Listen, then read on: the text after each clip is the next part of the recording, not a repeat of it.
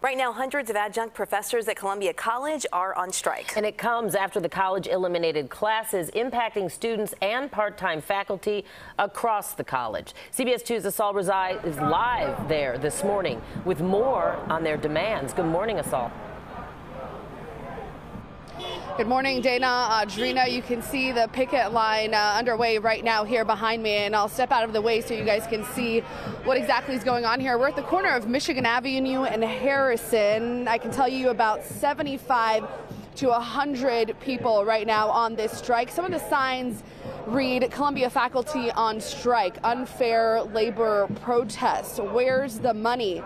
Uh, some people holding up signs in protest of Dr. Kim, the leader of the school here. We know that 600 part-time adjunct professors, part of the Columbia College Faculty Union, are a part of this strike. The union criticizing the college's commitment to a quality education after they say they cut hundreds of already enrolled classes and merged other classes, which will ultimately lead to an increase in other class sizes.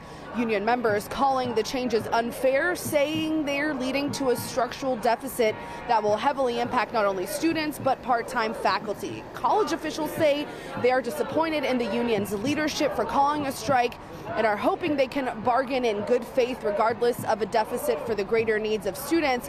We talked to the president of the college's faculty union moments ago. Let's listen. These are classes that students want and need. We have the enrollment numbers. They just want to consolidate, increase class size. They don't want to advertise it, even though students are coming for small class size. They increase the tuition, and they want to do it on the backs of the most marginalized faculty. At the same time, they're increasing their salaries. It's unconscionable. And we're told this morning the school says that classes and schedules will continue as usual. Also, any students that miss any classes because of the ongoing strike will not be held accountable. Still ahead this morning, there's a news conference planned for 1030.